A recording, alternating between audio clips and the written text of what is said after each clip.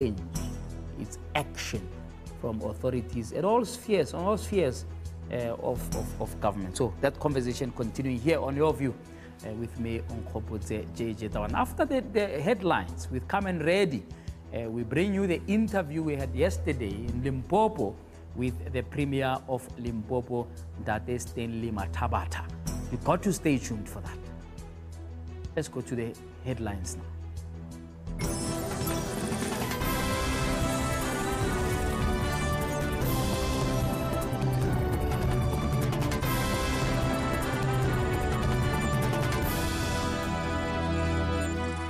VBS curators take on former President Jacob Zuma and the Ingonyama Trust. They're asking that he pays back the full amount owing on his bond or he could lose his Nkandla property. Relief for sexual offences survivors in Limpopo. Government is reopening specialised court to help them.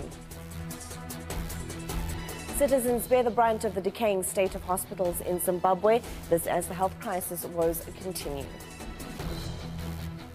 And US President Donald Trump sacks his national security advisor, John Bolton.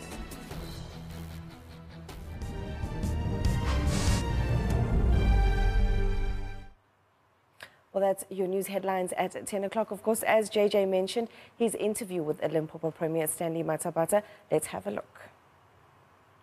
Welcome to your view with me Onkgopotse JJ Tabane. Tonight, we are coming to you all the way from Tuseng next to Lebowakgomo in Limpopo. And uh, we are guests of the Premier of Limpopo, that is Stan Mathabatha. We're at his home in Tuseng.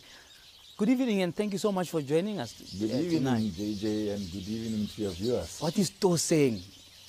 Toseng is a farm, it's a village, in fact, under Khoshim Pahlele. Mm. It is called Toseng. In fact, this Toseng is a yeah. corruption of the word thousand. In fact, yeah. in Afrikaans, Dazen. Dazen. Yeah, yeah, because the farm was purchased uh, with a uh, thousand pounds. So now, because our people could not, uh, you know, we ladies have got some heavy tongue. Yeah, yeah. so thousand for, for, them, yeah. Decent for yeah, them was. It, it, it, it's very interesting that there's a reference in the name yeah. about the, how the farm was acquired. Which will make the, the discussions about expropriation without compensation interesting yeah. for people here. Are they gonna are they gonna also have to give up this farm after they bought it for a thousand pounds? No, I don't think so. It won't be possible because uh, yeah. it was purchased long ago. It's, I think it's more than a century ago. Seriously. Uh, is, is a land issue a big issue in Limpopo given the agricultural uh, uh, you know, pursuits of many, many Very of your big. citizens? And, and how, how are they receiving it? Uh, because I would, I, I would think maybe some of the, the, particularly the white farmers, agricultural farmers, must be in a big panic and they must have uh, reached out to you by now. What is the sentiment around that? The land issue is a very big issue. Remember, we are a rural, a rural province. Mm. Limpopo is 80% rural. Mm. So that says to, you, and agriculture is one of our key competitive areas mm. economically. Mm. So that will tell you that uh, land should be a very critical matter. Hence, you've got uh, a two-dimensional uh, type of situation when it comes to the land issues in this province. Mm. You've got the land where different Maoshis yeah. are contesting for a particular piece of land. Uh, that is black on black land uh, expropriation and then you'll then have where white farmers, white commercial farmers, you know, uh, took land from black uh, uh, villages. Mm. Like uh, uh, you, you would have uh, the Loskop Valley farms. Mm. Basically, that was uh, Khoshimatebe's land. Okay. Khoshimatebe and Khoshinkadime. Mm. So, so, so it's a very critical. Remember, that is a prime land. That is mm. prime land. Uh, Absolutely, very productive. Very, very productive. Yeah. so you've got this contradiction as to whether uh, you have to go uh, in a very what aggressive manner, yeah, or perhaps you should push uh, foot. You should go bit by bit, try mm. to negotiate, so that you don't affect the production process. Mm. you know, because that also you need it. Because uh, remember, our uh, economy is actually based on those three things: agriculture, mining, and tourism in the in, yeah, in, in, in, in the province, in and the it, province, it, yes. it may affect how you, you, you, you are able to deal with, with, with challenges of poverty here and, and un, un, unemployment should be handled in a reckless manner because yeah. surely the, the, the, whole issue of what you've just said tells me that there's a recognition that there is a, a social cohesion element mm. in these discussions about land. Yeah. You were at Nasrec. Was there really a deep discussion about what the implications of this uh, resolution would be. I mean, at that time, it was not even adopted by Parliament yet. I mean, the ANC sort of took its own time to do so and only did that, you know, at the back of an, of an EFF resolution. But take me back to Nasrec on the land debate. Remember, Nasrec couldn't have uh, debated it intense, uh, intensively because okay. uh, it was discussed very intensively in previous at, at the police, at the police, including the police in, conference. Yeah, com even in the Polokwane conference, uh, in Mangaung, we did discuss it uh, intensively. You know? mm. And then um, Nasrec was actually saying, what are you doing with the Polokwane resolution? What mm. are you mm. doing in Mangaung resolution? Uh, is it Stellenbosch resolution? Mafike, all these conferences were revolving yeah. on this issue of land. Because remember, the ANC, the, uh, the foundation of the African National Congress, basically was on land and the people mm. in the main. Land, the people, and uh, uh, the economy. Yeah. Yeah. Hence, you've got these three colors black, green, and gold, you know, mm. representing the politics of the African National mm. Congress. So, it has the land issue has always been a very serious issue. It's just that the what I'm saying now, yeah. you know, uh, where people were saying that, but when we go aggressively on this thing, the, the leadership of the time, when we go aggressively on this thing, are we not going to upset mm, the and, and production process? Yeah. yeah. and all things such as that. Mm. So, in terms of uh, uh, way forward now, do you believe, and, and, and I'm asking you this now as part of the ANC collective now in the country, do you believe that you are on track in terms of ensuring that expropriation without compensation is not seen as just something, in a sense, that uh, was convenient at the time, which is last year, ahead of an election that is so heavily contested and faced with an opponent that made this thing a daily bread. I mean, you are telling me now the ANC is based on land. Very few leaders of ANC even ever say that, let's be honest. That is based on land. You know, uh, in fact, the, the, the, EFF will probably just laugh and say, yeah, but when we were there as youth leaguers, you just chased us out of the NGC, say, keep quiet, you know. Tell, tell me your sense of how you see this panning out. But remember, remember, uh, the, the, the, Youth League has always been very aggressive on this issue of land. Uh, yeah. Starting from yeah. the time of Peter Mokaba, you know. Mm. They have always, always been aggressive on the issue of land. Uh, even at Nasrec. Except the current ones, man. The current ones are, are not but aggressive on anything. no, no, no, no, no, no. but uh, remember that at Nasrec, yeah. the resolution was sponsored by the Youth League. Is that so? Yes. The resolution on land was sponsored by the youth. Yeah. yeah. So, so, so the youth have always been uh, very passionate when it comes yeah. to the issue of land. Mm. All right. Limpopo now, uh, one, one of the provinces, uh, uh, you know, and I'm not sure how to bring this into the conversation nicely. Mm-hmm. One of the few provinces in the new South Africa that actually had its administration taken over by national government I'm, I'm, sure it's long ago, so we've forgotten a, a, little bit. But have you, will you say to me in your 100 days, as you, as you assess it, that you have recovered from that kind of unfortunate history where you know, the national government had to come in and intervene. I know I'm correcting myself to say you're the only ones because the uh, uh, Northwest was also uh, uh, and some, some Eastern Cape. But you were the first ones where they had to experiment uh, what is called Section 100 or something, right? Tell me whether you have recovered from that. I would say we have recovered. But, uh, you know, after recovering, you always have some other, uh, should I say, uh, some signs of uh, of the past. Mm. You know, like for example, um, when the administrators came in in 2012, mm. 2012, when they came in, they concentrated mainly on the stabilization of the finances. Yes. Yeah. Uh, as a result, they stopped paying suppliers. Sure. Yes, when when we took over, we found a huge invoices uh, like this, yeah. of invoices, which we had to deal with. They because they had to stabilize the finances. Yeah. Uh, um, and they stopped implementing uh, projects.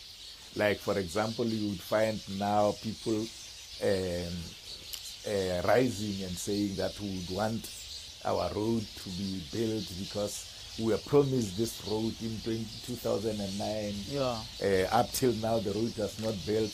We were promised this road in 2012, 2011, and all these kind of things. You know, these are the kind of things that we are still encountering now. Yeah. But when it comes to the finances, we are very stable.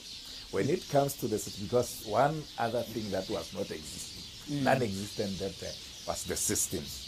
Mm. Your the governance systems, you know yeah, contract management system, payment systems, you know, all those those systems that when, will when, when, when in collapse. Yeah, they had collapsed. You know, uh, the province was uh, operating as if there is no law in this country.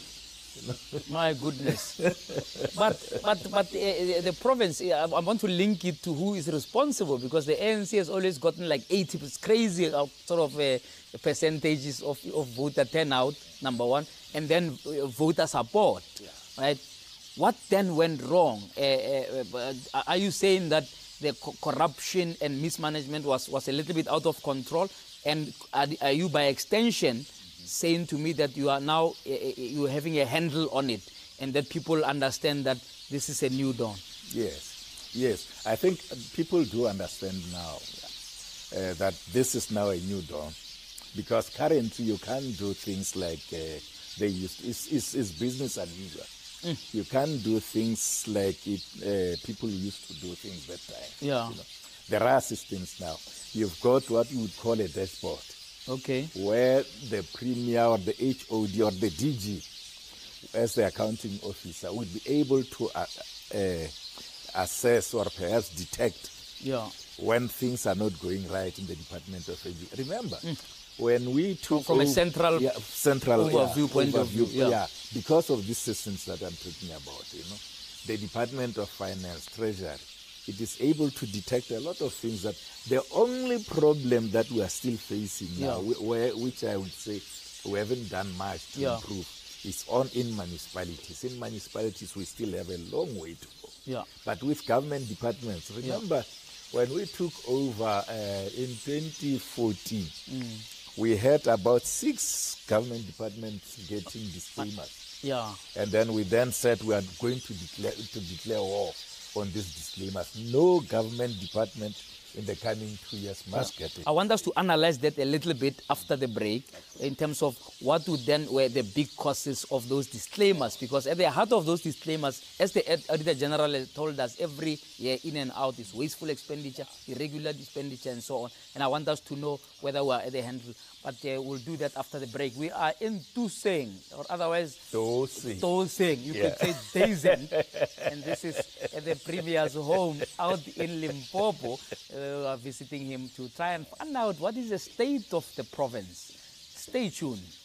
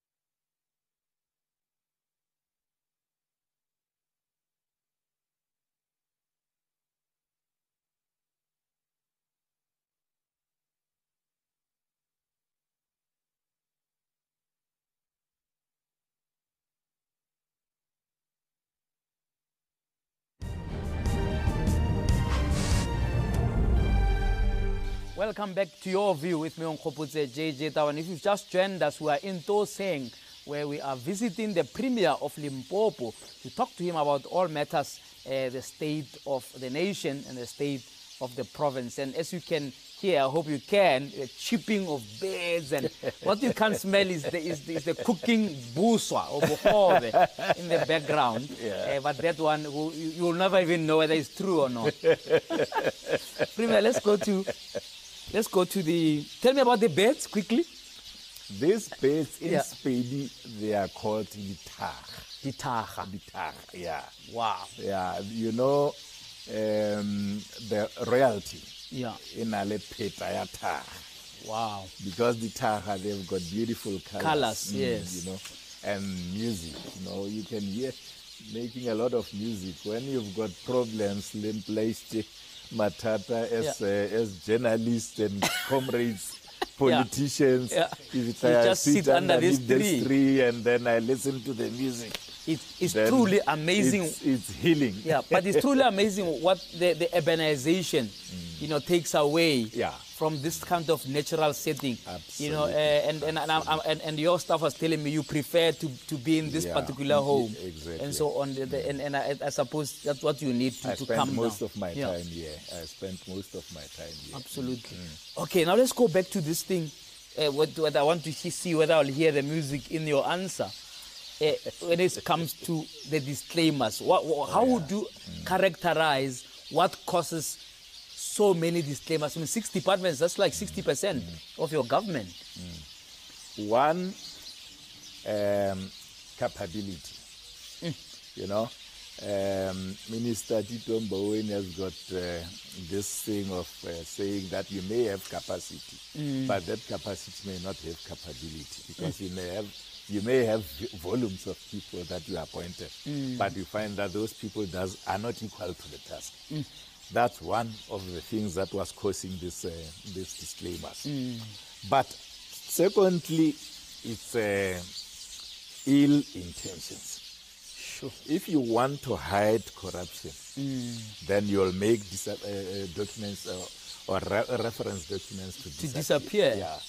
Then uh, that, sounds, that sounds like Alexander just right there. Yeah. just say two billion is just disappeared. The paper trail. You, you, can't find it anywhere. Mm. Yes, that is what was happening. Until we say we clamped down and said to the financial chief financial officer mm. of all government departments, we said if you get a disclaimer and you are a chief financial officer, sure. consider yourself disclaimed Fired. also. that did that work? Yes, it worked. Absolutely, because take for example the Department of Education. Yeah.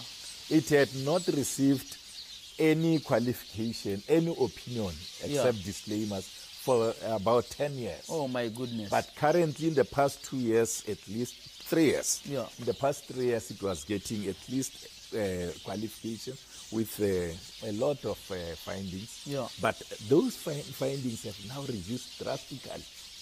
We will not be surprised in the next financial year if the Auditor General can come and say the Department of Education and the Department of Health in Limpopo are unqualified.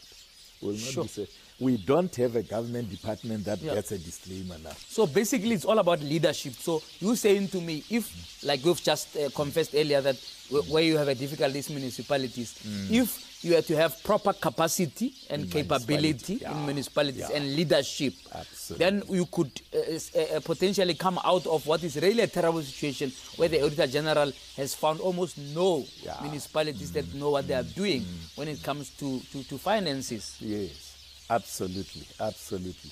Because the biggest problem in our municipalities now mm. is that, you know. But part of it is because we are a rural province. If you get uh, a chartered accountant, for example, and you want to send that chartered accountant to Thohoyandou, to Toy or Fitahomutu. yeah, but, you just pay them uh, what you call an inconvenience fee, an allowance. Yeah, but they are, they, they, they, they don't, they don't stay long. They don't stay oh, long. Or they'll stay and then they say, and, "Oh, I'm uh, sorry, I can be um, better somewhere." I remember one chartered accountant. I think it was in Thulamela, if I'm not mistaken. Um, he came for an interview, and then from there, when he, was appointed. They showed him where he was going to stay. He said, uh, Uh, I think no. you are raising a very, very important issue. I don't think issue. I went to school to come and suffer like this.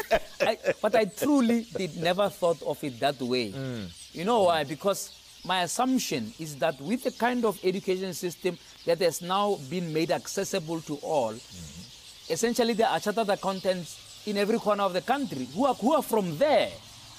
In fact, most of the chartered accountants in Gauteng, yeah. uh, Western Cape, mm. even KZN mm. were, uh, were, were, were, were, produced by, in, in, in, this province. But unfortunately, they could not uh, uh, find it in their hearts in to their stay. hearts to stay in, the, in this province. So, are you saying to me, in your own assessment, uh, that the capacity for, of municipalities uh, uh, is, is, is directly proportional to the fact that we're a rural province where people don't want to pursue careers?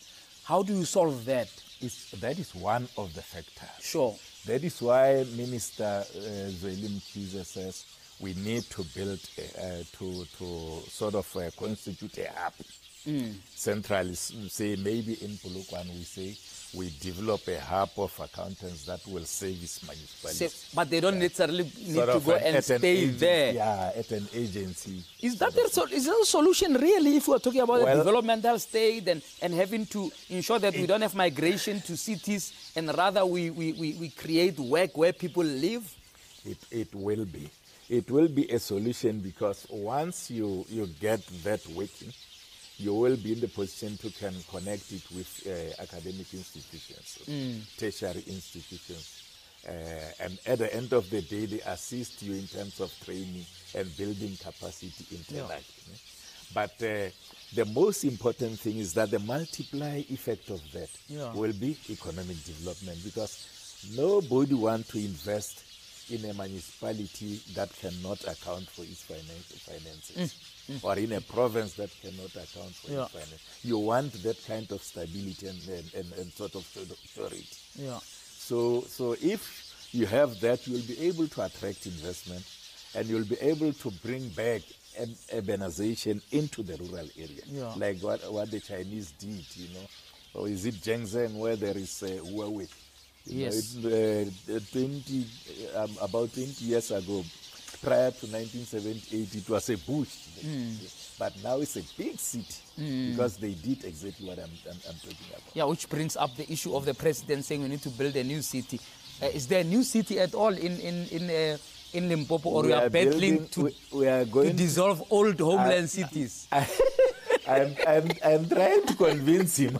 I'm trying to convince him yeah. to bring that new city to Musina, you know so that we can have a border city. Because we already. Also to the international started, city. Yeah, because we have already started doing work with uh, yeah. our colleagues in Zimbabwe. You know, okay. We have signed agreements. A lot of work is has already uh, gone yeah. into the, the project. Uh, again, you've got this uh, special economic zone that is going to be developed in uh, Musina, Musina. Yeah. yeah. Uh, we have got already a commitment of about 150 billion rands from investments from uh, big uh, corporates from China, MCC of China, TNG, wow. and the like. They, have yeah. already committed themselves that they are going to to, to invest in, in that SEZ. Yeah. So uh, it's just a question of time. You'll be having a city in a, a democratic city. Yeah. Uh, but why didn't the president mention this in his State of the Nation? Now he sounded like he wants to build a city from the first brick oh. and there's no plan, it's just a dream. Surely this was, a, was the answer, or is this now your dream now? This is my dream. Your dream. Yeah. this is my dream. But the president did mention yeah. that there will be an SEZ in, uh, in, yes. in, in, in yes. And he did mention that there already we have a commitment of investment to the tune of about uh, 10 billion yes. US dollars, mm. which uh, to my translation translates to 150 billion rand. All right, so just in terms of the, the, the, legacy of the homelands, I want to, to come to that now because I was quite startled earlier on when we were talking that you're still dealing with the fact that there are people who are hired by yeah, yeah. Mm. and who's that was a gentleman, Padudi. And, Ramadi, yeah. Fact, yeah. But after 25 years, we've not managed to say this, there shouldn't even be any lingering issue our Runawa from Thohoyandou, the other ones are from uh. I, I, want you to tell me how you are dealing with that because it talks about social cohesion of the province. Are we forming as a province or are we like, you know, there are some universities and I mentioned University of the Northwest, mm. which has three, that used have three campuses. But if you are in Potch and you are in Mafikeng, you can see the difference. Mm. They have merged in name only. But frankly, the, the, the, if you like, the disadvantage of the other campus shows even today. Yeah. Are we still in that situation in the where we have meshed in, because of the border being driv, drawn and a name change from North to Limpopo? But social cohesion wise, there are still difficulties. I want you to, talk, to, to address me on that uh, after the break. Okay. Yeah, we are, we are talking.